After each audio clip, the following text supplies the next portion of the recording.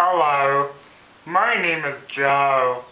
I'm in love with a girl, of course.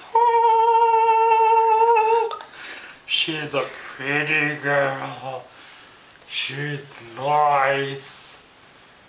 Here she is. Hello, I'm Santa.